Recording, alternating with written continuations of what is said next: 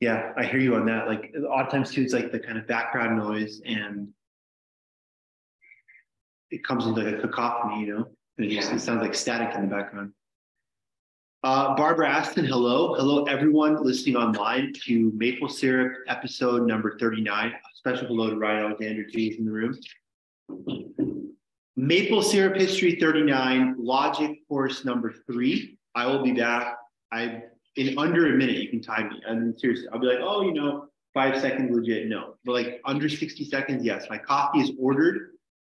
As I always say, let me take this moment to promote our wonderful coffee shop downstairs, Monica's. When this thing gets big, when it's huge, and people are like, you know, thousands, millions of people are watching, they'll be like, oh, there's a coffee shop on the campus of the University of Idaho called Monica's by St. Augustine Center, run by St. Augustine Center. It's very good coffee because this guy keeps saying, and I do. So I'm gonna go pick up my coffee from Monica's. Get it? Monica, St. Monica, St. Augustine's mom. Not a shout out to friends. Not talking about Monica, Joey, Chandler, those people. St. Monica, Mother of St. Augustine. I'll be right back. Barbara Aston, hello again. Um, 30 seconds, and I'll be back with you.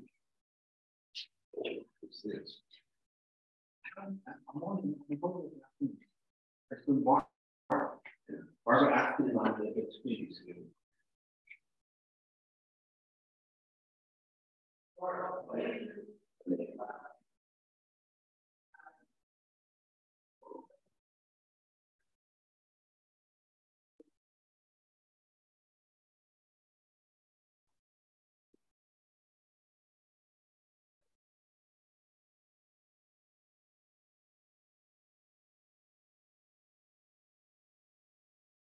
There's my last name is Simas, S I M A S.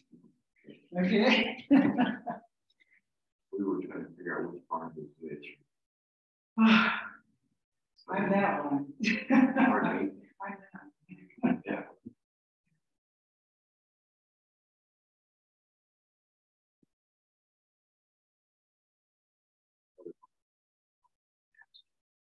Yeah, right. Sure. My God.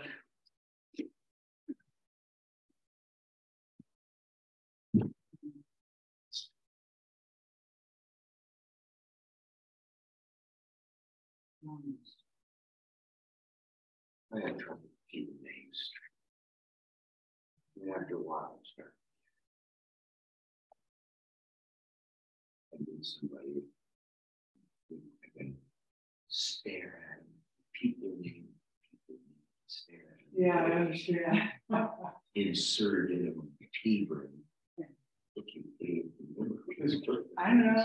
I do the same, and it's like, and if you meet them, even if you got it, blah, blah, blah, and then there's some kind of gap in between seeing them again, you may have had it then, but it's like, starts with a C. Papers, you know, some people are good at that. I think back in the June, the one with Gallon. And he was on a party we had, you know, Yeah. Uh-huh. she had every one of those things. Right on, Wow, was calling. It was really- that's pretty amazing, actually. Yeah, Hello, Pat. Will you send me an email? You gave me your card. I had it. I lost it. I was going to tell you because you gave it to me last Wednesday. Can I scribble it on a piece of paper Keep-? Do you have a computer just to email me? Because if you, my, my thing's online, uh, if you just send an email to Vandal Catholic, email you from my, that's what I mean. If you could just do that, but I don't know who's email. just send it to intellect at vandalcatholic.com. Okay, And that's perfect because I, I had your email.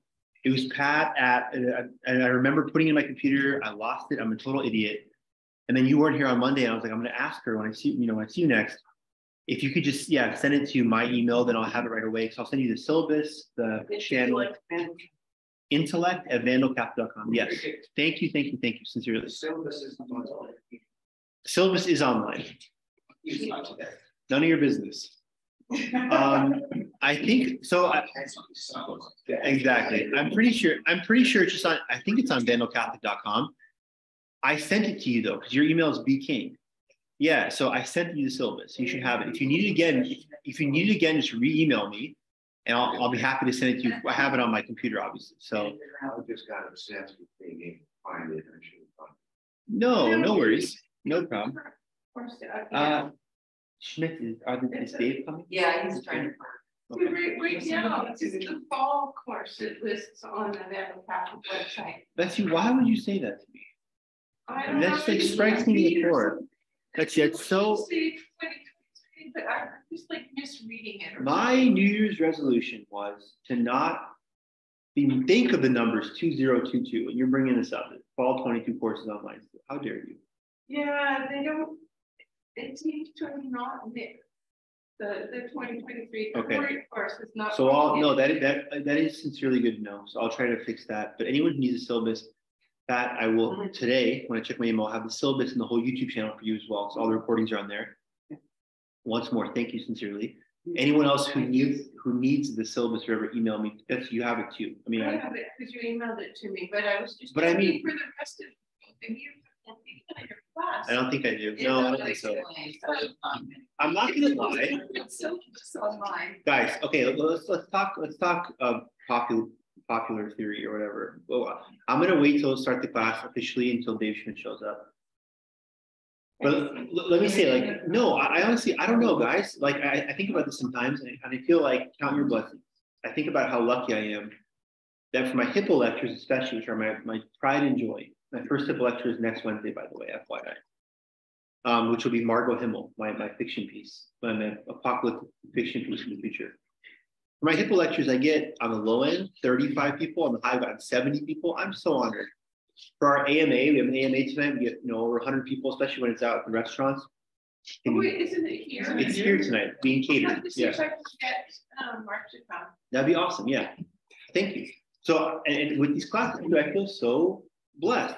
Barb, Barb, Brad is three people.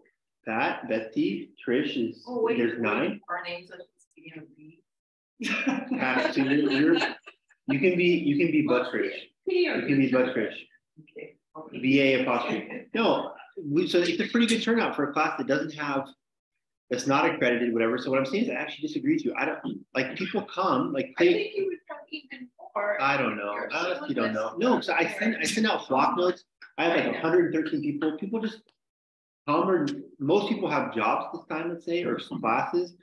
And then um other people are just like, and I totally respect this. I've had so many students tell me, it's so nice. If I love your class, awesome. I have a lab I have to do that time. I get it. Like, so I, I don't think it's not being online. I'll try to fix that, but it's like I'm just so privileged and, and truly blessed that you guys are here. So I would do this class to myself. I would just record it and put it online, like, you know, like a podcast episode. But You Um, should put a, like the mon, the mass times, and Monica, so I'm put a sandwich board out there. Today, logic, Yeah, you know, yeah. Actually, There's the- you're right. that would see that might be Yeah, true. free, yeah. Fine, then you guys do it for me. You guys, you guys, you know, do something around here. Signage. is And do we, like, everything. need Right, a yeah, course I should. Becca, Becca agrees with me. She's like, no, everyone in this room is so lazy. If they have these ideas, they don't want to put into action. And someone do something. I don't know. Uh, what was I gonna say? Last, So if I- yeah, no, of course not. Betsy, you can do no wrong in my eyes. Like nothing. you. If you punch me in the face, I'd probably think. Like Okay, there's nothing. print out if I answer. Sure, of course. Okay, so last couple of housekeeping things. Again, welcome, but I started this class and I went and got my coffee. No one was here. It was just myself and Brad and freaking Ryan Alexander comes sauntering in like he owns the place. Uh, and since that time, a bunch of lovely people have showed up. Well, mainly lovely. You know who you are, who's not included in that category, but um, I will. I, it's better to say. My grandmother said, "If you have nothing nice to say," so I won't continue. But you know who you are.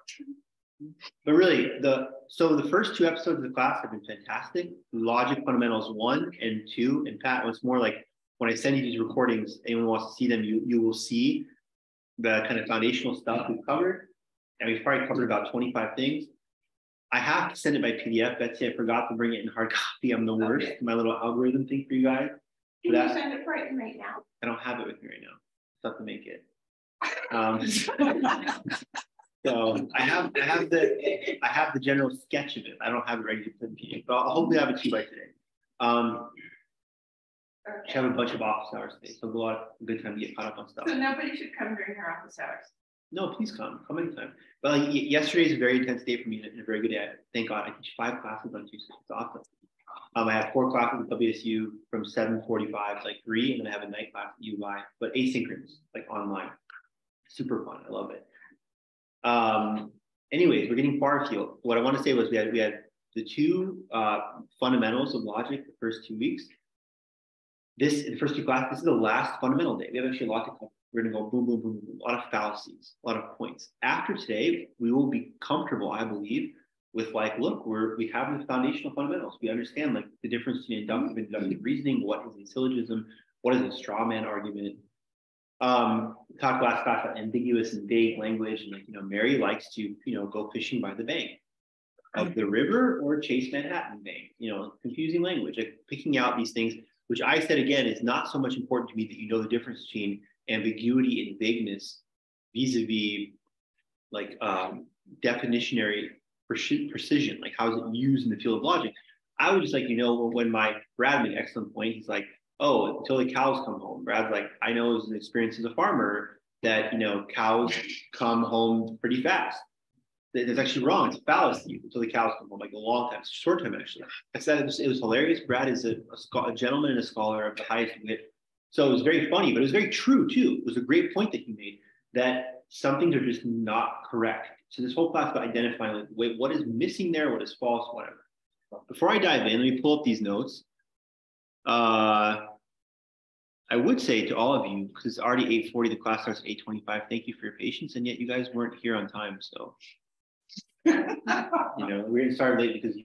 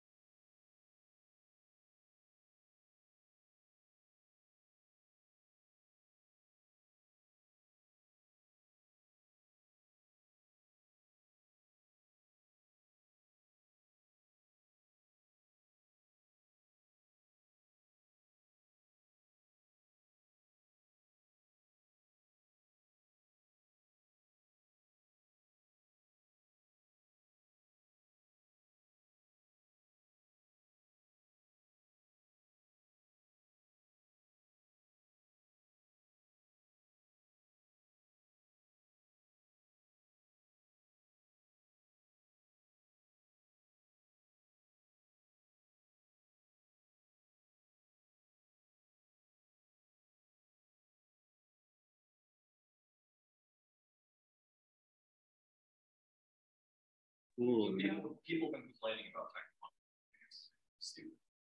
Yeah, so so uh Ryan Alexander said Socrates. Hello, Barbara. Welcome back. I dropped, sorry. Uh, I said last class, maybe you remember this, but my new computer is broken.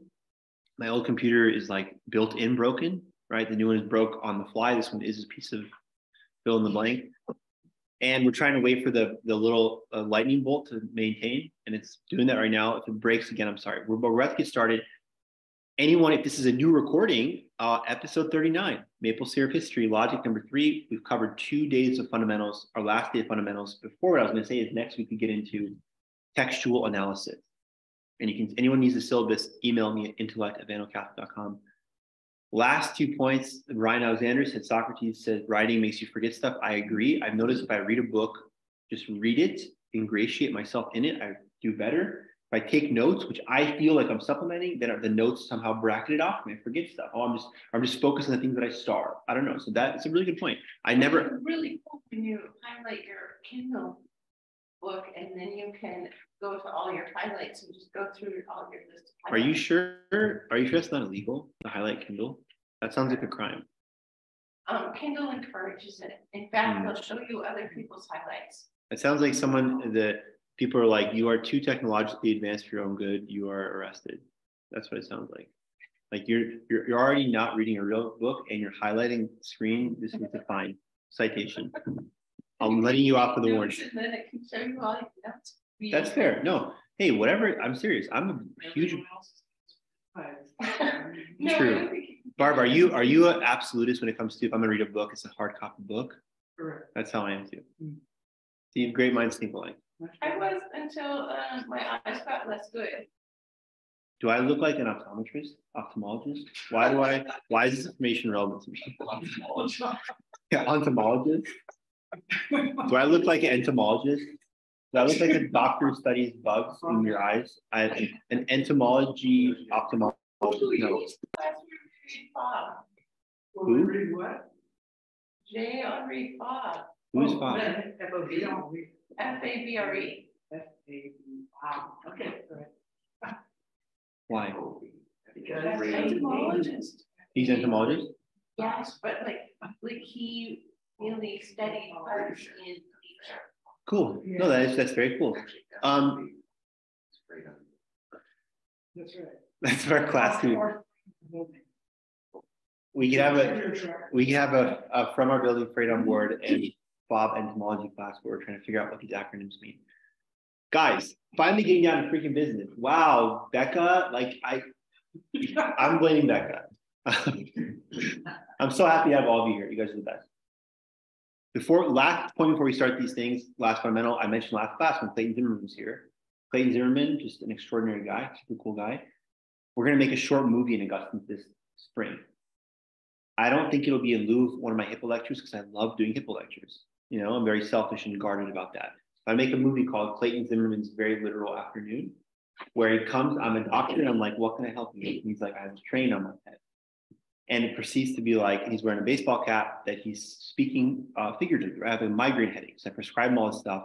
If I'm my nurse, maybe I'll ask Nicole to be playing the nurse, the role of the nurse. She'd be like, have you tried checking his head?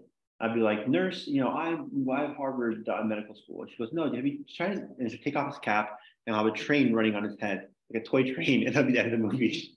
Miniature little. I mean, yeah, and, and she'll just pump it off. And, oh, thanks, I feel much better. You know, wishing you a good out and just a quick abrupt ending. Thank you, see ya. Take care. See you for bowling league next week. Like after a whole movie, I'm thinking about having a flashback of like him and I working out. I'm like, let's do this workout where you run into a wall, where you're like, this is you gotta work, on your form. Just do this for 30 seconds.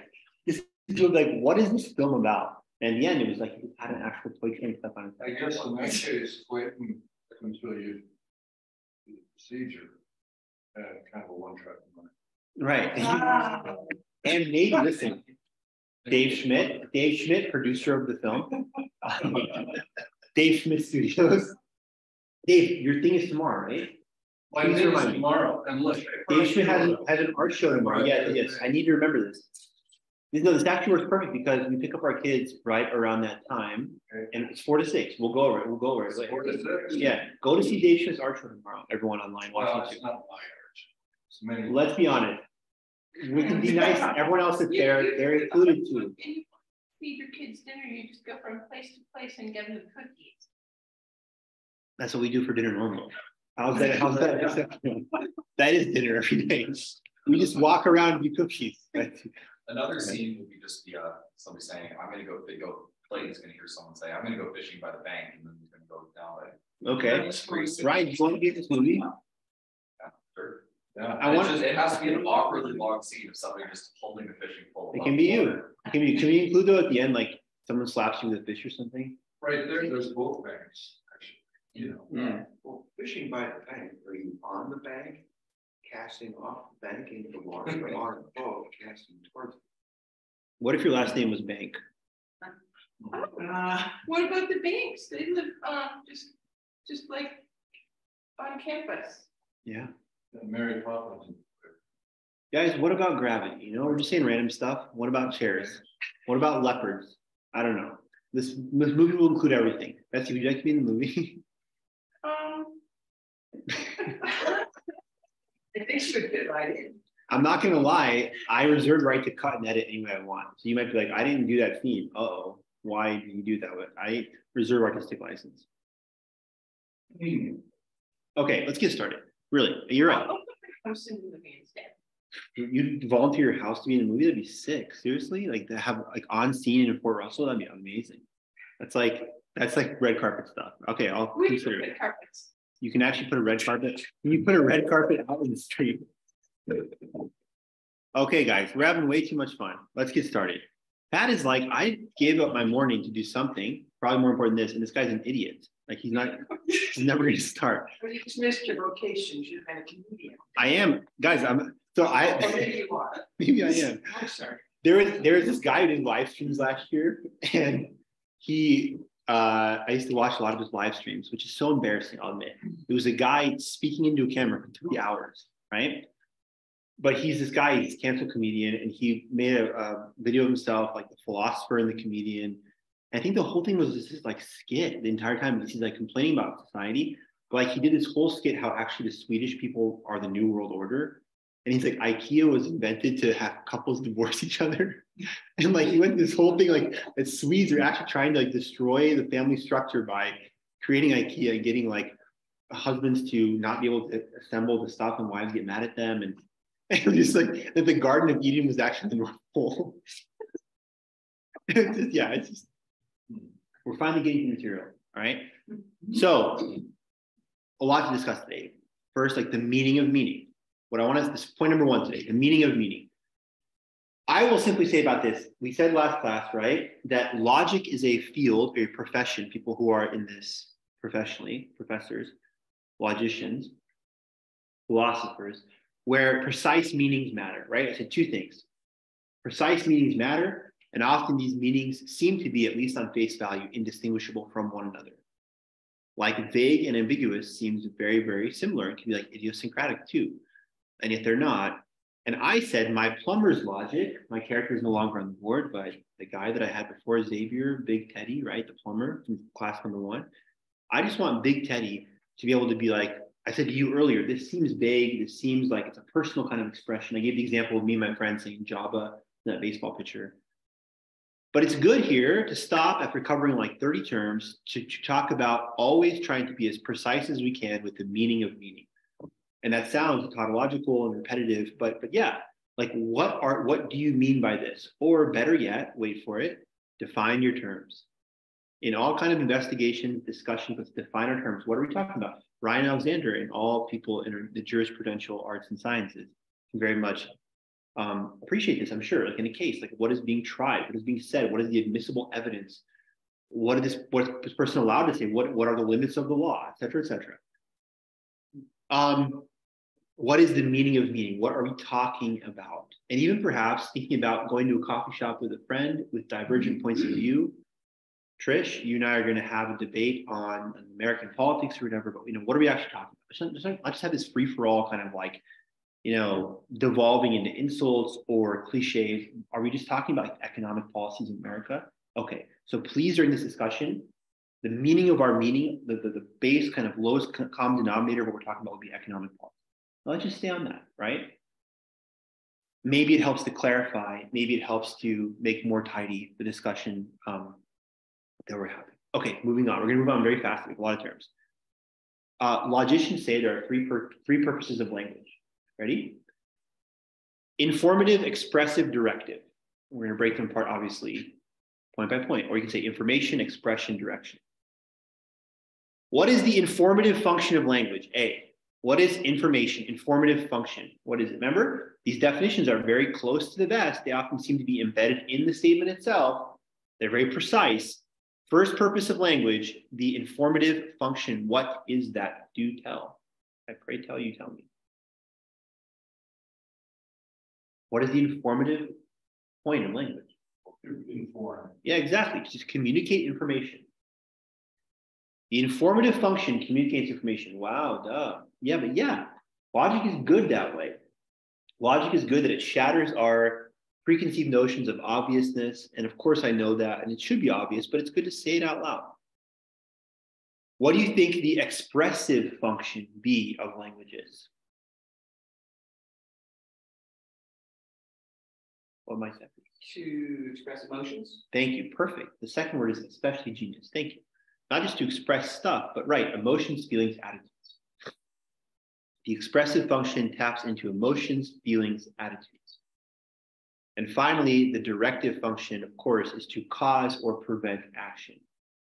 Conduit, to do something or stop something from happening. So once more, three purposes of language, information, expression, direction. Information simply communicates information, facts.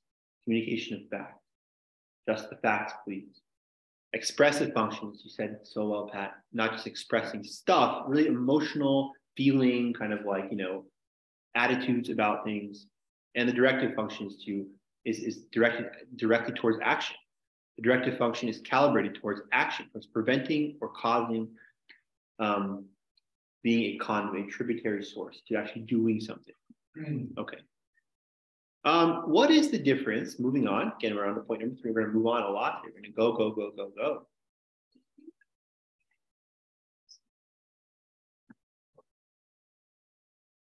Trish, if, if in that first bag that you have, if there wasn't a writing utensil, I'd be like, that's surprising. What is the difference between a tautology and a contradiction? What is a tautology? What is a contradiction? Remember, I'm sorry for being a broken record. All we're doing today is the last class we'll do this before we get textual stuff. It's the first half of the semester, so to speak, even though it's only like 7%. All we're doing is defining terms. All we're doing is defining, sketching out. We've already done a lot of that in the last two classes, but really this class will take it to the apex. A tautology is basically saying a term is identical to itself, and the contradiction is saying that two things are, which are, cannot be held at the same time, are true. Good, very good. Could we have a spelling on that word? Yes, tautology. T A U T O L O G Y. Tautology. There you go. It's a good Scrabble word. It's probably triple triple word score. Two things which are identical. I'll give you an example. Ready? Two terms. Two terms, not just two things which are good. So like dog A and dog B are identical in nine kinds, but they're they're that's not a Okay, tautological so statement. A, a tautological statement is always true. Okay, I'll give you an example of tautology. Ready? Bachelors are unmarried. Right? That, that is a tautology. Bachelors are unmarried. A, a bachelor is always unmarried. It's always true. Once a bachelor marries, he ceases to be a bachelor. Right? You cannot have a married bachelor. Then that does not exist. Bachelors are married. Where a contradiction is always false. Triangles have four angles, is a contradiction. A triangle cannot, a triangle is three angles. It cannot, so it is always false. Okay. Remember, we talked about in the first class, are arguments cogent? Are they valid? How strong is the argument? Deductive reasoning always true if the premise if it falls from the premises. Inductive reasoning, Brad and I were talking about this before class. You know, you can have true premises, but a more general kind of conclusion. We don't know. Tautologies and contradictions. Tautologies are almost unnecessary statements. The reason people apologize for tautologies is there's no need to say that. It's like the wet rain is a tautology. Rain is always wet. If if if H2O in its form is gaseous, it is no longer rain. It's, it's gas evaporating. Or if it's hardened, it's ice. It's not. If it's rain, if it's liquid, it's wet. It's always wet, right? Rain is wet. When is rain not wet? Give me an example of dry rain. That's not possible. So it, it would be sloppy writing, right? And this is, yeah, exactly. Which implies, which im- but that, that that's funny and a good example of. In that point, you've departed from realism and you're using a colloquial expression. You're you're you know, uh, you're no longer de- dealing in reality. Now you become almost a poet. You move from science scientist to poet, right? It's poetic expression. Scientifically speaking, rain is always wet. So it's not necessary to say. Yes, go ahead. When there was a big fire, it rained ash. Yes.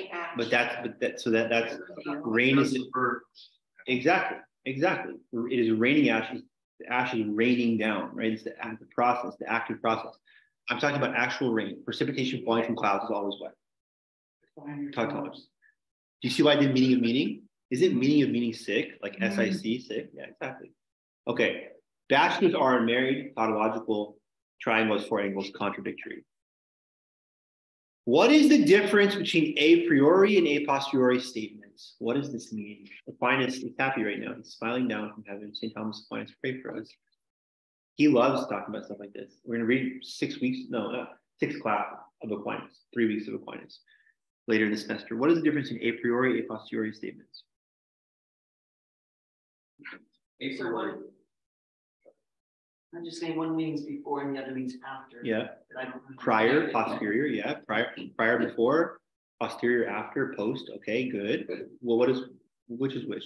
an a priori statement is kind of something you have to believe to get anything done in the world of logic in the first place. And a, a posteriori statements are gonna be things that follow from those a po- posteriori statements, so.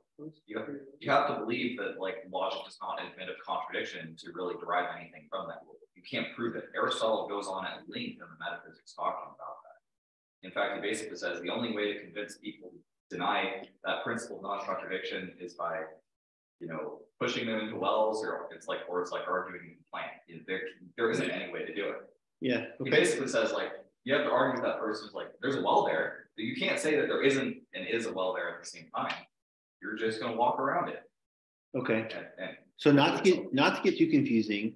Uh, sorry. No, no, no, no, no, no. I, I swear that sounded like I was saying, oh, you, dude, your comments are always so epic and genius. Thank you. I'm serious, sincerely. I love, I love that you're in this class. I'm, I'm gonna, I'm, I gotta stop. Gonna become really sycophantic how awesome you are, but seriously.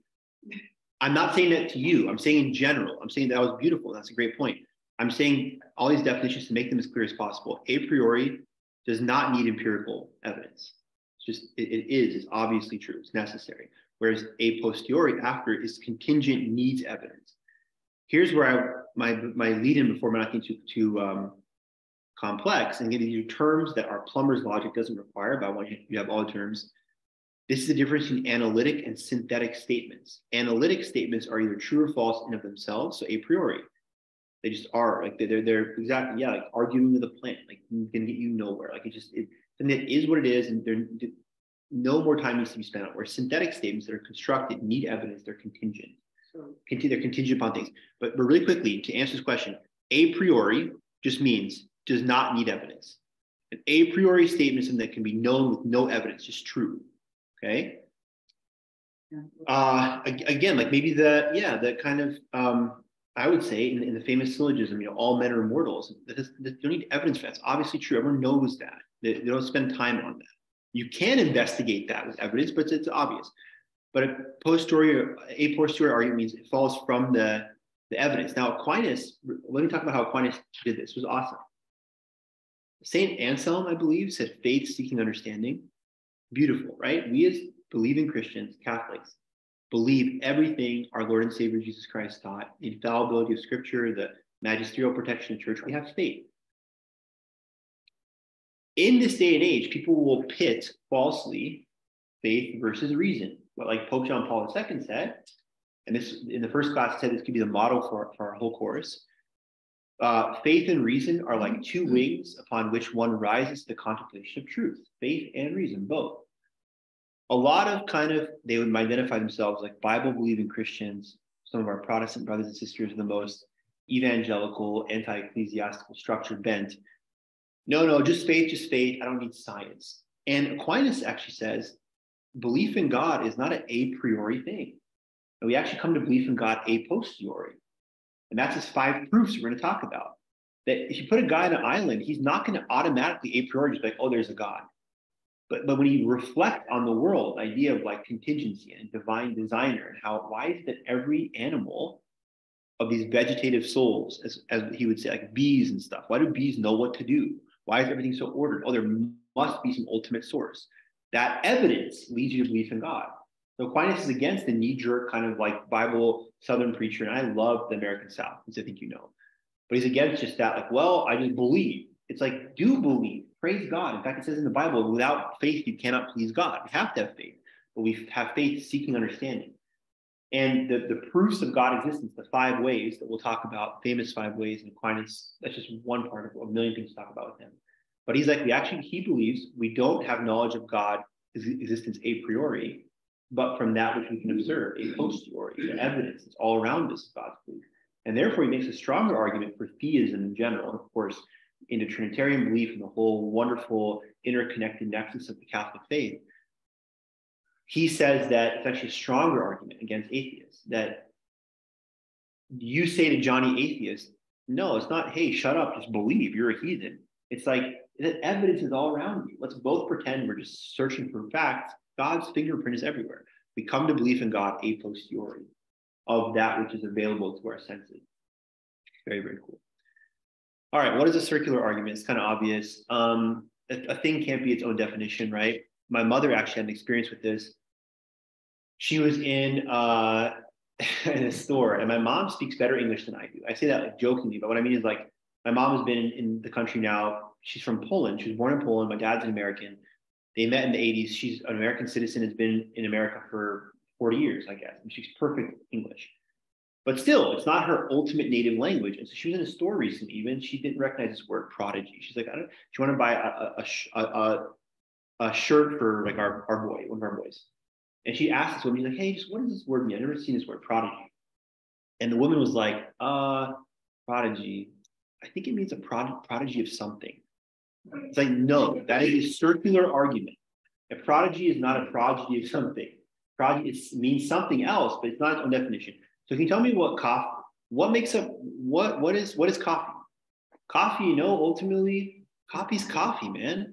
No, but what is coffee? Oh, it comes from cacao bean or whatever, coffee beans. Yeah. Okay, that's something, right? But what is beer? Well, it's fermented in this way. Beer, beer is a brewski, bro. No, you know, like a thing is not itself, you know, right? Even if it is identical in itself in tautological things, like a, a, a brewski is always a beer, is an example of tautology, right? Is that true? What is true? I mean, I don't know about brewski beer. Mhm. I think IPAs aren't brewskis. IP is not beer. How is IP not beer? I, I think it's beer. I just don't know if it's a brewski. I think so. Okay, so you're saying brewski's more of a frat guy kind of natty Yeah, ice I kind of thing? Okay. yeah, I don't think You know what? I I I I think I side with you now. You're right. Brewski is kind of really low brow, so maybe not. You're right. Maybe like a a Chimay Blue, you know, Monk Trappist Abbey Orval beer is not a brewski. I don't know. It's- also- anything you brew, actually, key, that's key, uh, nice things. Let's write a dictionary. Like Guys. Frat house, look at it. It means Just I someone needs to sing. Anyone, anyone want to sing the Folgers theme song? Speaking of coffee, no. The best part of waking up is Folgers in your cup. Remember that, like the nineties. I do. They got really into it, and the guy somebody's like, "The best part of waking up is Folgers." Like he'd really get like Folgers in your cup. Like he'd really get into it. Like I, I miss that man. There's I don't have the commercials anymore. I miss. It's Folgers go- never- That what is it? Is that also Folgers? What is that? Yeah, I think it's Folgers Crystal, and they're, you know, black and white commercials, dinner scene. And, uh, the guest couple, um, the husband said, you know. And his wife. Oh, yeah. Jim never. Thought bubble. Nice. What a burn on women. Like I used to make garbage coffee. And these are crystal, this is instant coffee. Are you talking about drugs? Huh? Drug advertisement at the same time? Drugs. Crystal coffee? Is that why dramatic? They got popular for a reason. Exactly. It's true they used to put cocaine in Coca-Cola, right? Yep. That sounds bad. That sounds like a bad idea. Most people are bad enough. I think pe- people brew still have a healthy use of the cocoa bean. Some people do. What, uh, recreation You or? You make Like like a- a tea a out tea, it, you okay. chew it, so it's not refined, so you're not getting. It. That's cool. Yeah. Hey, ev- everything in moderation. I, I will confess, I'm of the dare generation. Like we used to have cops come into our thing, dare, uh, I'm gonna what the acronym stands for, drugs and resistance education, something like that. Drug, drug and alcohol resistance education. Hmm. I had like a dare t-shirt. Everyone, everyone know what I'm talking about? Dare? Yeah. I know what you're talking about. I just again, just like I in my life, like I I don't smoke anything. This is not some kind of like confession, like or oh I'm so Will you drink? I drink the the the, the things that I use or I, I caffeine. I absolutely love coffee. I love beer, but I I don't. I've never done any drugs. I just that's not my thing. Thank God, maybe as well. But um, so just to say where I'm coming from, I'm not someone these like new age guys who's like, oh man, these cool like you know plants these guys use. That is cool. That is cool. Everything in moderation. Like if these people have this uh, what's it called? Like you said, used for a tea, and maybe maybe it helps people sleep or it's a relaxing. think it's used as, used for um, high altitude uh, travel and things like That's that. great. Then that seems like that's a beautiful God designed use. It's awesome. But I drink the special tea that you drink when you go to Cusco. Hey Betsy, if anyone tells you this is this is special tea, you're in. That's your it's your fault at that point. It's your fault. Hey Betsy, I have these special brownies. You want to try? It's your it's your fault. That's that's your fault at that point. Yeah, But, well, what was it like? I don't, this helps get rid of my terrible. You don't know? headache. Wait, you don't know? Wait, you don't know because you don't remember anything for three days? That's what you think? No, no, no, no, I, I got to Cusco and we we got given the tea. I went down to dinner, but I had a terrible, terrible headache and it just had good back. Bless you. Added The like like night From the yeah. altitude, but then the rest of the time I could run and stuff there, so it wasn't like. what is the altitude? 10, 12,000 feet, like high, Uh, like in the tens? I think it's. I'm guessing thirteen thousand feet. I'm going, I always go at thirteen thousand. Altitude, I know where. South America. Okay. For real, right? Yeah, um, elevation of eleven thousand two hundred feet. Dang it. Wow. And I was coming I from was Seattle to sea level, you know, so it's, um, Betsy, get it? Nice joke, by the way. Seattle is sea level. Seattle. Let's get back to work. Betsy, thank you for that. That's a great story. Um, definitions. What have we covered so far? Because we're getting back on track. What we, we've covered the meaning of meaning, three purposes of language, information, expression, direction, tautology and contradiction, a priori, a posteriori, especially in proofs of God, Aquinas, a lot of good stuff, right? Like Schmidt, a lot of good stuff. Uh, something cannot be itself. A progeny of something's definition of progeny. No, it's not. Um, definitions. Definitions have to follow the Goldilocks rule. What is the Goldilocks rule? Just right. Yeah. Right. They cannot be too broad or too narrow. A definition cannot be so broad that it means nothing. Chesterton famously said, we'll cover him for three classes. The point of an open mind is finally to shut on something. Can't be so open-minded, just always filtering nothing, you know, not retaining anything. Can't be so broad. It's it could be anything, and it can't be so narrow that um, no one knows what that means. Or it's kind of like I had, I had a, a, a mentor when I was a history graduate student I, I really respected. And he lamented, bemoaned that historians don't, it's not enough just to study this one cockroach now. Instead of all the entomological species, just one cockroach. Now I only study the left hind leg of the cockroach, right? It's way too narrow. Like, so what? Like, when does it become so focused it says nothing about it? A definition must be Goldilocks it must you know reconcile broadness and narrowness into just like precision. It, it must be just right just like goldilocks porridge i have a sister named Gold- goldilocks. Surprise surprise makes great oatmeal and porridge all that family. Always the right really I'm, this isn't funny it's serious. My one of the greatest one of the greatest moments in my childhood big sis goldilocks making us breakfast. Awesome. Um yeah. She had a hard time finding a husband. People were like, there's no way your name's Goldilocks. And she would burst into tears and be like, hmm. woe is me that my parents named me Goldilocks. I care. Yeah. I think, I don't know, I'm just thinking of problem definitions. Yeah, no one cares though. I think the Bears would have liked it that. Go ahead. And you know. Bear- yeah, I exactly. think it was come by the nickname Goldie. She went by the name Locke. They thought it was too hardcore. girl named Locke. It was like a Bond character. Go ahead, Brian. Brian. So I'm thinking of probably like definitions and universals. You can't, the one reason you can't define too precisely is that you're just um, an individual thing. So you can't define the species of dog by just a dog. This particular Fido, this particular dog, because it's not a definition anymore. You're just talking about Fido. So if your definition is too narrow, you're getting away from genus or species, and then you're getting into a particular. Excellent. And Thank then you you. can't make any generalizations. Yeah, Hey, that and then, and then that breaks your logic. You can't say all A or B because you don't have an all Yeah. to talk about. Thank you. That is fantastic. As always, you have such a great way of like, you know, contextualizing. That's right. That's exactly right.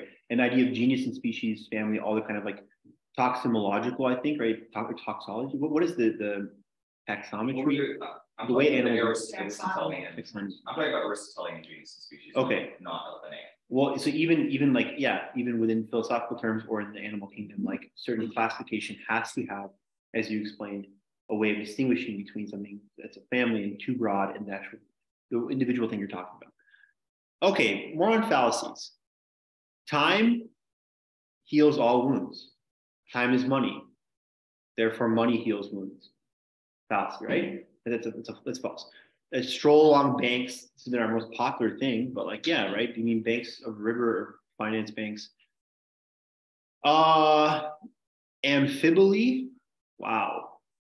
Big Teddy, our plumber, doesn't like this. He's like, when I hear ampha, I want to like talking about amphibian. It's like the, the, the extent of my knowledge with ampha stuff. That. Exactly. Who cares, right? A M P H I B O L Y. Amphiboly means multiple meanings, but it's about like sloppy construction, kind of a fog of war thing, where it's like, what are you kind of confusing? It's going back to earlier terms about vagueness in statements, which is not the same, can be kind of paired with or paired against equivocation, which means actual mul- multiple meanings.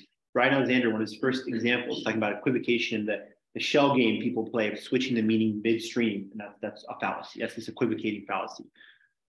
Um, the accent fallacy. What is the accent fallacy in a sen- in a sentence?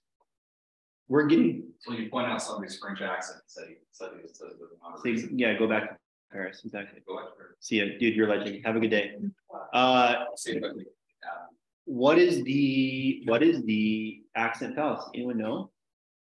So it's like, okay, uh, you're not really gonna do that, right? Action on that. All of a sudden, that's whoa, right? You really aren't gonna do that. You really aren't gonna do that, right? It- accenting a certain word juxtaposed against others. I mean, I guess you probably could use it correctly, but it, it highlights or heightens that and perhaps can lend fallacious understanding too.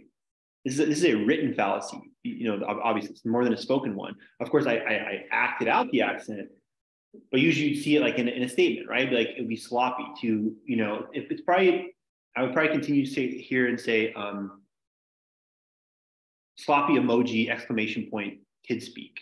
Is, would you say that, that accent fallacy is used for misdirection? it could be used for misdirection. I want you to focus on this, not here. Look here, not there. Yeah, totally right. Right. It's confusing. It's confusing. I would say this is in the family of like when people use exclamation points wrongly or you know commas, bad punctuation, sloppy writing, where where maybe you're being confused not intentionally, but your focus, your focal points are being diverted unnecessarily and incorrectly. Next one, ready? Slippery slope argument. Um, people used to wear like Amish style clothes. Then they were like wearing like jeans. Now they wear short shorts. Everyone's gonna be walking around naked pretty soon. Slippery slope argument. Now, I might say even, right, almost might agree, oh man, like we as Catholics like, love the virtue of modesty and stuff. I agree. I'm not, I'm not saying that modesty is good in men and women. And I, by, by the way, this is where it's like a truly sexist, misogynist argument where these guys are like, oh, women should not wear these clothes, but they'll walk around like a, guy walking around no shirt on, on, you know, like whatever can be just as, you know, tempting to women as, you know, the classic woman in, in a too short skirt or something. I think it works both ways. I'm all for modesty, but this, this is a slippery slope argument. No, Okay, so- go ahead.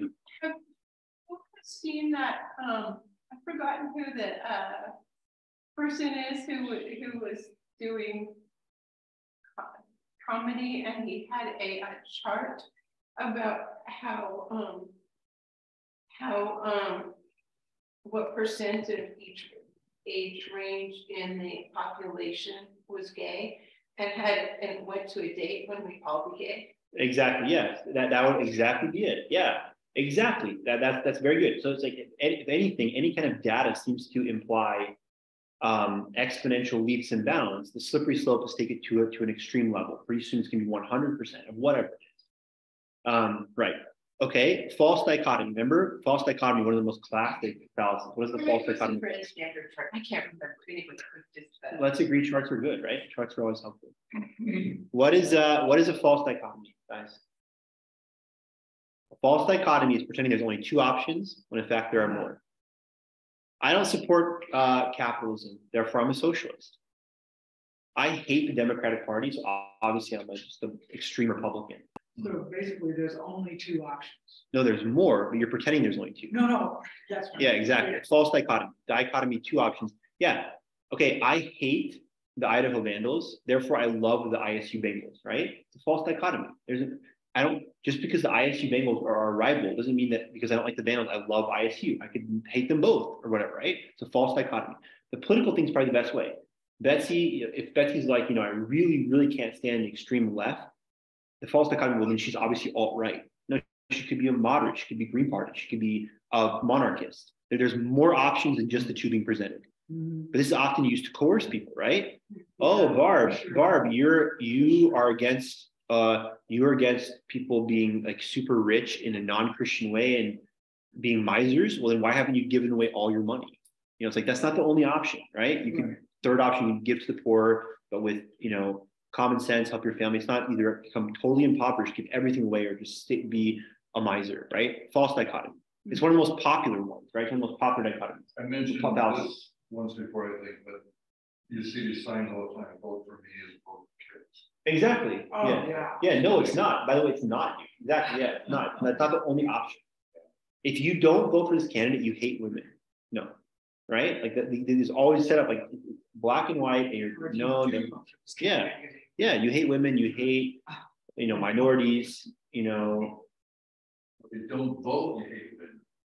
Or if you do vote. you. We got an issue here. It's all big campaign. Yeah. or if you don't take a vow of silence, you have to sing the Folgers song.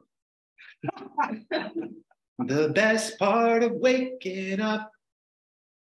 No one wants to sing this with me, guys. Folgers in your cup. Yeah, thank you, Pat. That was really good. Pat, you have a good voice. That was good. That was like commercial level good. Oh, yeah. Um, uh, okay. So strawman argument. What is straw man argument? This is bad, guys. This is actual crime. This is when you torch scarecrows on people's farms. Uh, this is property damage towards farmers, burning scarecrows. Because you're like, this guy has a really cool scarecrow, and surprise, surprise, it scares the crows, and they don't harm his crops. I want to harm his crops, financially impoverish him by burning his scarecrow. Straw man argument. Yeah, so you, so you, um. So you make an argument that, um. Everybody would agree with because you've set up something. No, but you're trying to find, I already defined it, it's burning scarecrows, it's attack, it's economic warfare. In the straw man argument, basically, finding a shill or a scapegoat, basically, um, you, you're blaming the problem on. Kind of, no, okay, here's, here's simple way scarecrow, it's attacking not the opponent's real position, a caricature of the position. So Dave Schmidt, I'm running for office against Dave Schmidt, and Dave Schmidt's real position is Dave Schmidt wants to bring back traditional values to Moscow.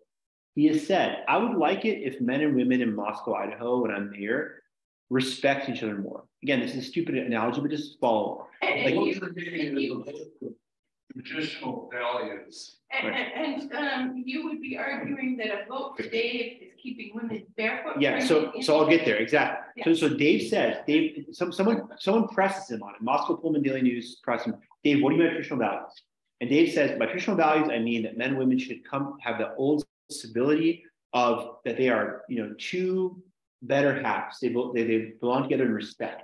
Not just as, you know, the marital union, but like, men and women are not enemies, there's too much like, men, women hate men, men hate women. I want to go back to men and women see each other as allies. I want to, uh, you know, have empower women who want to stay home. and be stay-at-home moms while also empowering women who want to work. I want to just work for better male-female relations. And so he says all that. And then I say, if Dave Schmidt gets elected, he said every woman's going to be in a burqa. Every woman's going to be barefoot at home. He never, that's a straw man argument. He never ever said that. That is a traditional, denied but he never denied it. He said, but no, exact straw man. And so, so everyone's like, well, I can't vote for Dave Schmidt. I'm mean, barefoot and pregnant, like you said. That's not what he's for, but it's a great argument. It's a great fallacy for my things. If I get you thinking he stands for that, then you're not going to vote for him. He never said that. He in fact said he wants to donate more money to helping young girls go into STEM and young girls, you know, be career women. He just said at the same time, I like to empower more women who want to be traditional stay-at-home moms, whatever. And so I jump on that and say Dave wants all women pregnant in the kitchen, you know, barefoot in the kitchen. So attacking only one part. No, no, No. attacking a mate. He says something, I make up an extreme caricature of something like that. Oh, He said traditional values explained. I say, well, traditional values is barefoot in, in the kitchen. He never said that, but that's that's in the orbit of traditional values. So I attack that thing I made up about him. okay. So, so Barb, you say you say um, you're you're running for president, and you say I I will I believe America should defend its allies. Fair point. In, in the foreign policy, you, you say like if anyone attacks NATO, Putin or China or whoever attacks NATO, America should should help their allies. And I say Barb is a warmonger who claims America should attack wherever they want in the world. No, she never said that. She said she would defend defensive, and I say she's going out looking to fight people. Right? It's a caricature. It's not what you said. But if the voting public can say, "Oh yeah, she's a warmonger," I win. Straw man. argument. So Straw man's legit. Straw man's a good one. Barbara's running for office and she, um, says she doesn't want to be, um, tied down by modern electronic gadgets. Right. And Barb wants to ban social media. Right. Yeah. Right, right. Barb wants to ban computers. Barbara- Yeah. Straw man argument. Straw man is very good. You see how often our political elite uses this. Republicans, Democrats, all of them do this. No, this guy actually said this. No, he didn't. No, he didn't. You said that because it's very. con- You wish he said it. In fact, because it's very convenient and damning for their campaign, but they actually never said that. Or what is a red herring argument? Well, well, very, very similar, seems. Red herring is to change the subject, divert focus to other stuff. So we're talking about, again, Dave and I are political opponents. And Dave, uh, the reporter asks me, you know, Miss, Mr. Krashevsky, you know, you, if you became mayor, what would you do to address the water crisis in Moscow? Well, have you seen what Dave said about technology? Red herring. yeah, but oh, before I answer that, let me ask my opponent what he thinks about the idea of saying that people can't drive cars anymore. Red herring. I'm not, I'm, the question was about energy policy. I'm just diverting it, attacking him. I'm not making up something maybe, or maybe it's red herring plus straw man, but it's like red herring just means I refuse to, like, hey, labor secretary leader, uh, studies show that high school kids have a literacy rate lower than ever. How do you respond? I think a really important thing we've been doing in our society is working on building more parks in the city. It's been really good. Red herring.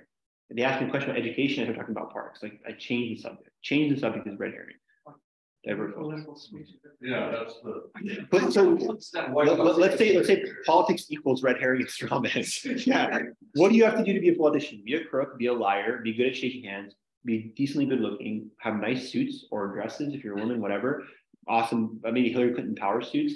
Um, and be good at red herring and straw man. and you're there and you're elected, right? I already told you guys, if I ran for political office ever as governor, I would come out front, I have my campaign release fake scandals about me. Because then I every every week I look clear. Like I'd be like, tell them that I'm, I'm doing this secret oil deal with Saudi Arabia. That I want to divert all of Idaho's resources to Saudi Arabia. And then it turns out it's not true. I'd be like straw manning myself and then be like, wow, he's cleaner than a whistle. Like all these scandals, then I'd blame it on my own. Well, you heard all this because they said I did this. That's how I do that. that. That's a pretty winning strategy. The next step, yeah. Yeah, the next step. of- That's the next step of psychological warfare. Make up fake scandals about yourself, set the bar really low, and then it turns out you're clean and you're bet you look better than ever. Like no one wants to elect me if I'm just a good guy, but everyone wants to elect a good guy who's accused of doing foreign shady deals, who's clean actually, because pretty good, right? Pretty pretty sneaky. That most my campaign slogan would would be all the things you thought he did, he did it. Well, the most 2024. thing is name recognition. Right, so if you can get a lot of publicity with your name in it. That's not true. Like Donald Trump, anyone, no one knew who he was before the campaign. Name record is not that important. But you're saying like most people knew Donald Trump, like that, I don't think so. He was kind of unknown. Right, of course, of course. The, the Clinton dynasty, the Bush dynasty, the name recognition is huge, huge. Uh, I think there's a guy who won in Massachusetts, and maybe he's great. I honestly have no idea, but he was a Kennedy. I mean, done, right? Oh, I'm in the JFK orbit family. You know, RFK is my uncle. uh, I'm a Kennedy, American royalty. But that is that is enough for some people. It's that you know Obama's daughters might be geniuses or the opposite. I have no idea. But if they ever want to get office, it'd be very easy. Just like, oh, I'm Obama's daughter. Like that, that would get probably 40% of the vote. I'm just, what's your campaign? Uh, I don't really want to talk about issues. Did I ever mention to you I'm Obama's daughter? Like just name recognition. Yeah. I mean, seriously, right? That's just all it is. So it's like there, there's there is part of that. Red herring, red herring plus name dropping, the name dropping red herring. Guys, guys, let's continue. We're just Brad King. Just every second interrupting the class, holding us up. Just, just continue. I, I'm just sitting here thinking about the name recognition. I, I, I agree, you know, it carries a lot of weight. However, in this day, with the social media and going back forever and digging everything out, the name recognition also brings everybody, all your ancestors baggage. You know, oh, Kennedy, yeah, wasn't he a womanizer? Wasn't he, you know, this kind of thing. That's a red herring. There's, Yeah. a yeah. Sure. Or even like, yeah, and ancestral red herring. Yeah, wasn't your great grandfather arrested for embezzlement? What does that have to do with me? Right? Your great great grandson. Yeah, exactly. Did, did you own slave and like shoot up a saloon in the eighteen seventies in Wyoming? It's like, well, I guess I'm dropping out of the race. You know, like what? Okay. Appeal to ignorance. Isn't it awesome how many fouls? We're crushing these fouls. Appeal to ignorance. There's no proof Saddam didn't have WMDs, so maybe he did. Maybe should have. No, right? The burden of proof is that he did. Maybe that was the problem with Iraq War, is that we didn't confirm that he did in fact. We just were like, well, I mean, he never claimed he didn't. There's no evidence he doesn't have them. It's guilty until proven innocent otherwise, right? It's like, yeah, I'll do this deal because there's no evidence that it's, that it's not not good. I mean, you kind of know whatever. Before you do a big company merger or attack a country, it should be the burden of proof is on you to say it's true, not that, oh, I don't know that it's not true, right? Why did you punch that guy? He didn't do anything to you. I don't know. Is there any evidence he didn't ever insult me in private? I don't know that since I punched him. No, it doesn't, right? Appeal to inappropriate authority, relying on someone who has no right, right to weigh in. Well, this guy said it. My son says. My son, exactly. My son said this is inappropriate authority. Uh, Mrs. Smith, why do you believe blank, blank, blank? Well, everyone I know in my church group says it's true. inappropriate authority. Uh, I Why had do you believe that Listerine cures all medical problems? four and five doctors say it, right? Well, that's kind of an authority. Everybody at my church says. Ever my church, yeah, the kind of my my big fat Greek wedding, the Windex, right? The guy, Oh, yeah, that's inappropriate authority. Groupthink. This is a great one. And I'm gonna define this, well, I will, but we can just move on. Groupthink is just right. Everyone here says it, so, so, so. People don't understand this, like groupthink, Protestant epic fail. This guy in this Protestant blog, I mean, I know I have you a Protestant blog already epic fail. But this guy in this Protestant blog was talking about like Catholicism supposedly isn't true. And he's like, well, every Protestant denomination says it's not true. That's great evidence for me, right? So stupid, right? Like we believe, obviously, the Catholic Church is the church Jesus Christ founded. That whether that's true or not depends upon did Jesus Christ found this church? That that's where the burden of proof is. And we believe yes. So but- believers believe the church, the world is flat. Yeah, it's not flat. Exactly. Everyone, all everyone in my all of Pullman can take a vote and say the world is definitely flat. It's not flat. That's groupthink though. Well, everyone said it was. I'm a Democrat, you know, democracy. I'm, I vote the majority.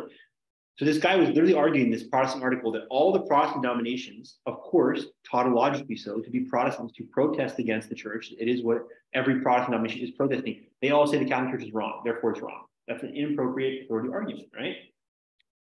Uh, all Mormons are mean because everyone I know says Mormons are mean people. Not a good argument, right? And growing up, everyone in my town was like, stay away from them Mormons. Groupthink, stupid, baseless argument, right? Um, ad ad hominem attack is attacking the person, not the position. So political logic, we already talked about straw man, red herring. Here's your number, your trifecta. Uh, Mr. Krashevsky, is it true that if you become mayor of Moscow, you will push to increase property tax by five percent? Have you seen what Dave Schmidt, my opponent, wrote on Twitter? Have you seen the vile stuff he posts on Facebook? avoiding red herring, avoiding the issue, and attacking him personally. He's not fit for office. He's the slave owner saloon guy. You're at home. I, I tell all my students at WSU, U of I, here, everybody, always attack the argument, not the person. Ad hominem is one of the most popular fallacies. Trish, why should I listen to anything you say? You're a terrible person. That, that, that, that's absolutely illogical, right? Why would you listen to her? Do you know what she's done? Like, again, ad hominem. Have you seen the scandal she's involved in? Fine, maybe that's true, but what did she actually say in the argument? Oh, I don't want to address that because she's right. She's right. I, you know, I'm, I lose.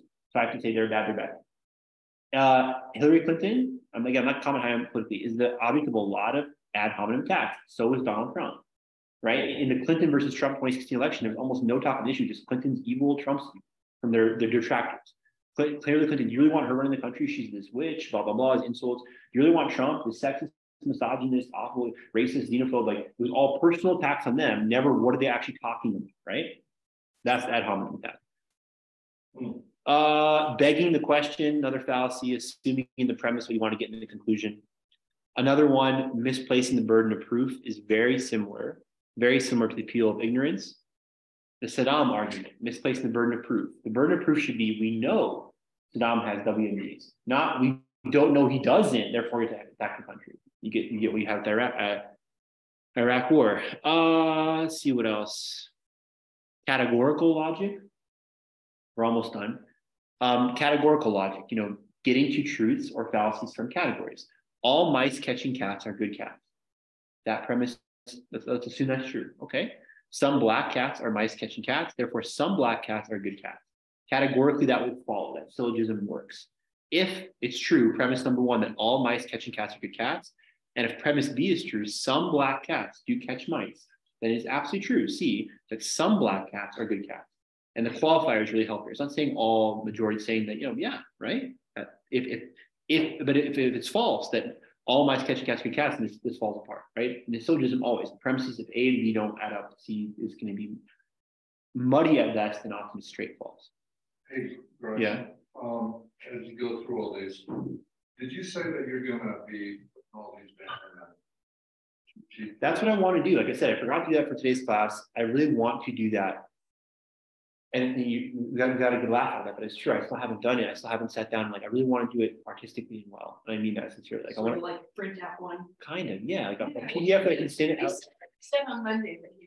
I would have it in person. I lied. Um, I failed. But yeah, no, I thought cheat by First three Uh, classes. Exactly. So I, I want to have it at least by next Monday. So, so you have the cheat sheet in your hands, electronically speaking, or in, I want to have it in person.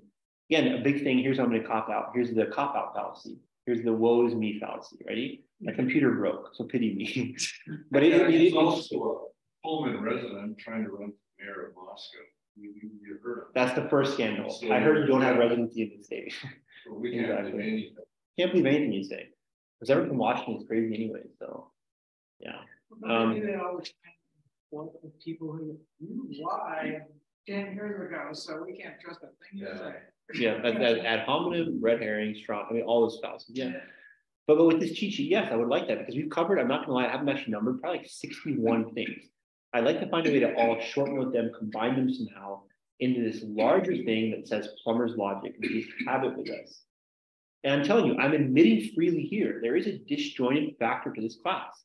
Like our next lecture, I believe, on Monday is going to be about logic at the foundation of the world. We're doing a textual analysis of the book of Genesis.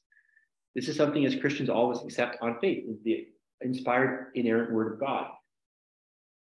And, and, and not just with like the sacred text of the Bible, but even other things. I'm not saying that we're going to apply all these things always. We'll have these tools. And like I said, my dream will be maybe we're reading Cicero, who's one of the greatest thinkers of all time, an amazing orator, just unbelievable, you know, intellectual figure. And maybe like, this doesn't seem correct. Oh, this is this. Here's my sheet. This seems like this is a straw man. It would be fun that way, you know? So yes, I'd very much like to do that. And, and, I, and I'm, you know why I, I guarantee to have this? Someone help me out. Why do I guarantee they'll have this done? because it's selfish. I want this for myself. Like, so I'm gonna do it for myself. It's the ultimate motivation. If I was doing it for you guys, I'll probably forget. But I'm doing it for me and you. It's a win-win. It's very capitalism, like all of us win. St. Augustine has an invalid syllogism in one of his really good works. Was it on Christian doctrine? That just made, it just made me think of it. But it doesn't mean that the whole work, we would throw out the whole work. Of course not. I- And, and that, even that his conclusion is false. Right. The argument. well, that's the whole thing too. Good, and that's why we have, we talked about earlier, have that on the sheet, valid arguments, opposing arguments, false arguments. We're gonna be picking with a a fine tooth comb uh, through all this stuff and just kind of separating, to use a great Christian term, separating the, the chaff from the wheat, right? Um, the chaff can be burned with unquenchable fire, putting that off to the side, whereas putting into our barns, our harvest, you know, our, our golden winter wheat to be used for excellent beer. Um, is there, I'm just fishing a little bit, but is there another term, I guess, for, If you like. well, you were wrong about that, so you're wrong there. Or, You know what I mean? Yeah, I would say maybe, I don't know off the top of my head, but I would say, yeah, actually, actually, Dave Schmidt. Let's go, let's go, Dave Let's Schmidt. just- Let's just do it. Let's get big and large and crush. Yeah, this is seriously, this argument is called, let me see if I can find it here. I do have it. Anyone know what synecdoche means? What is a synecdoche? It's Schenectady, New York. Yeah, that's what Right. I was thinking. Anyone know what this means philosophically? It is extrapolating the, the whole from the parts. Boris Johnson, Boris Johnson, the old British PM, we're gonna call him hair. Boris Johnson is not his hair. His hair represents all Boris Johnson. Or the, our favorite quarterback, he's the arm. It's using a, a part of something without part of that argument. I take one part of you, this one stupid thing you said, mm. you support like people dating cats, let's say, and you really do. So therefore you're nuts, totally. Maybe you are, maybe, but it's like that's synecdoche kind of, so it's called the synecdoche fallacy, where it's like you say that that one thing. We just did philosophy in real time, guys. This is cool, seriously. How is that spelled, by the way? Synecdoche, S Y N E C H O D E. Synecdoche, O D Y, O D E, O D E. synecdoche. Mhm. And where does that word, where does that even come? I have no idea where it comes from, but I know that it does mean that. Okay. Uh, Dave, Dave, we're gonna call you tall guy. You know, your height is one feature. You're, you're talls. You're, you're in bar nickname, right? Right? It's like just one feature, everything. I'm yellow. Everyone calls me yellow. I always wear yellow to say yellow sweater, right? I'm not actually, that's not, it's ridiculous. So fallacious. Yellow describes me, you know, totally. Maybe you don't, oh, he's a coward, you know, whatever. Even if it goes, everything with yellow. He's a coward. He's a sunny disposition like the sun. He likes yellow. It still is fallacious. It does not cover the whole. You're assuming that's yellow guy. He wears a yellow shirt. He's yellow. He's sun. He's sun. He's sunny. But those are just kind of outward. Yeah, it, it, it, it can be any, character. but it can be anything. It can be character flaws and character traits. You were 25 years ago, you were, you know, arrested for shoplifting and you made up that mistake by synecdized that. You're forever a criminal in my mind. Catholics persecuted Galileo, and so. Therefore, that is that that. So Catholics forever are anti. Catholics hate science, they hate rationality because they one time was Galileo. It's beautiful. I'm, I'm like so happy. Exactly. It's So, very well so, so, for example, the saying the Jews killed Jesus and then going on to say that means all Jews are bad. Exactly. Or all all Japanese people, all Japanese people um bombed Pearl Harbor. You know, the Japanese did bomb Pearl Harbor. Was every Japanese person that plane? No. Are all Japanese exactly saying the action of a certain group, an individual thing, a character thing stands in for, for everything. Barbara asked him, the champions. who? Who champions the world? Well, at one point, the Seattle Supersonics. Got it. Okay, yes. Champions of the world. So they are forever, you would have to say that, you would say Seattle, you would, you, the whole city would be glorying in that. Got it. Yes, no, that's, that's brilliant. Yes, the, the champions of the world are those fifteen guys playing for the Seattle Supersonics and maybe their general manager, their trainer, part of the organization, but they stand in for the whole city. The twelfth man section with the Seahawks, you know, we're all part of the Seahawks. It's it's our team, right? Oh, and so the word comes from the Greek through um Latin and Middle English.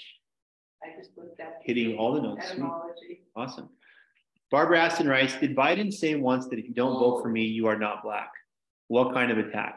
Yeah, this would be, I'm trying to think. Yeah, this obviously is a fallacy, right? This is so insulting to African Americans of like, unless you're a Democrat, you're not really African American. That's so insulting. And that says if I'm a black guy, like I must be part of this party. If you don't vote for Biden, you're not a Catholic. He says he's devout Catholic, so you're obviously not a Catholic. Don't vote for Biden. Like those kind of arguments. You're not black. You're not a white woman. Really not a Catholic. You're not. You're not really Jewish if you don't support this. If you don't support Israel, you know, only true. If you don't support the state of Israel, you're not really, a, you know, a true Jew. Like these kind of arguments, I would say are just. I can't think of what style. They're just they're false. They're misdirective almost. They're kind of red herring like. It's like to be African American is a biological reality, right? I'm an African American man from Mississippi, let's say. I am the red herring changing the focus on my genetic reality to a certain action, a synecdoche kind of one thing that if I don't vote Democrat, then I turn in my black card. That's ridiculous. Yeah. So I, again, I'm not doing a great job with this in terms of I don't know what the exact fallacy is. It's just false, right? It's saying that unless you act a certain way, maybe it's kind of like holding someone hostage, right? You know, if you don't, if you break up with me, I'm gonna jump off a bridge. Mm-hmm. That's a fallacy, right? You're holding someone hostage. Okay, I guess I got to keep dating this guy because he said he's Mm. gonna jump off a bridge. No, that's not right. Or it could be, but it's the one where you're assuming the conclusion, Yeah, begging the question. begging the question. Yeah. So, so yeah, maybe you're begging the question that to be African American means you must be a Democrat. To be uh, Jewish means that you must be a rabid supporter of the state of Israel. You know, even, even things outside the Jewish faith, which is the, the secular state of Israel, Benjamin Netanyahu, whatever. Right. These would be fallacies. These would be, you know, things that no, you can be African American. I know a lot of African American Republicans. I know Jewish people who don't like the state of Israel, actually like very pro-Palestinian. So it's it's it's, can be refuted by evidence that that's not the case. And yet some people, because they want that to be the case, I want every African American to vote for me as Democratic candidate. I will say these absurd things, right? Like unless you do this, you know, you're not really, you know, you're betraying your own culture. You guys don't support Biden openly, well, I mean, he's a devout Catholic. So if you don't support him, you're not really a Catholic. You should probably be excommunicated for not voting for Biden. Sounds ridiculous, right? But it's like some people will make that argument. They do, uh, and it's It false. Seems like the, the. The, the ridiculous emphasis on, you know, striving for rhetoric has replaced character. So. Oh man, this is not a new thing. This is that's a great point by you. This is as old as time. Socrates and a lot of these guys refuted the sophists. Sophistry is one of the oldest fallacies. These guys were really good at saying pretty things that meant nothing, which is kind of like our politicians today. Okay, you vote for me. Ready? Here's. Can you sum? Can you uh, summarize? Condense your platform. Thirty seconds. Candidate Jones, go. Yes, I can. If you vote for me, this country will see progress, success, and equilibrium, equium like never before. I will reverse, subvert, overchange, and implement a new paradigm on top of the old paradigms that were rejected by the way that we've been awoken collectively as a self-conscious rising from the phoenix of past change must be discarded into the trash bin of the old ways. The old ways not new, and what I bring is a new way of looking at new things that can be said to be a new take on new things. Thank you very much. And that first of all, stop. Anyway. But yeah, that, that first of all was not even elegant. You get my point as this kind of stupid parody. People will just say a bunch of things. Oh, it sounded cool, like fancy words, paradigm, equity, but like, what are you actually talking about? And the person himself said, I have no idea. I just want to sound important and smart. The only real mistake you made is you actually stuck to thirty seconds. I stuck at 30. Yeah. They usually. I think one guy was like 212, 213, 214. Like it's like way like triple the time. Like really good. All right, everyone get out of here. Um, it's so no, guys. I again I appreciate and truly love you very much. I do. In the kind of ultimate Greek Philadelphia brotherly love. You guys are like family to me. Thank you for being here. Um, tonight is uh, uh, AMA. AMA. Yeah, please come. It'd be awesome. We get. Why? Why do you not We're come? not. Are you? Is that really? Oh, yeah. I- He's young enough. guys, again, if Father Chase is requesting that, he is my he is my absolute like king. I like Father Chase is like the the the, the pa- paper paper Caesarism, like in the old days when the Pope was like the local bishop. He's like Father Chase like the feudal lord of Augustine. So I submit to his authority. If he sends only students, I defer to that. And I get it, but like I don't is that a rule? I would love to see you there if that's not a rule. If he's requesting that, I humbly 100 percent as his friend, as his humble servant, submit to him. So then yes, okay, only students come. But I don't know, is that is that a hard fact? rule? I'm not- probably because Yeah. Yeah, exactly. Get the So smart, I think we're. get, get the smart people out of here, get the young moron. I think uh, there may be some youth kind of aspect to it, but also different faculty. Dave, just show up wearing tie-dye and be like, Woodstock, man. Well, You guys have typically done this, um, at a facility, a restaurant, a bar, whatever, and, uh, I think that's part of. it. But yeah, they kind of. Does anyone know why it's, does anyone know why it's here now and not at a restaurant bar? I, I don't know. This is the first time. This will be the eighth AMA I've done. Uh, the first one was in, uh, the fall of nineteen, I think, at like Breakfast Club. Like when I first got here, yeah, it was right away. It's that, and it's the first time I've done it not at a restaurant. I've done it at Breakfast Club, done it at, at, um, Slice and Biscuit. We've done it at, at, what's the Mexican place across the thing here? What is it? Patties, Patties, yes, thank you. It's amazing. No one's on the tip of your tongue, like, oh, it was not. I would never got the patty. I was thinking like Ricardo. I couldn't think of the name. Yeah, patties across here. Um, so we've done it always out. I don't know, I don't know why it's in here, but it's gonna be pretty cool because the place is pretty cramped. So it kind of this awesome feel, like standing room only, pretty sweet. you guys, um, I don't think you record these, do you?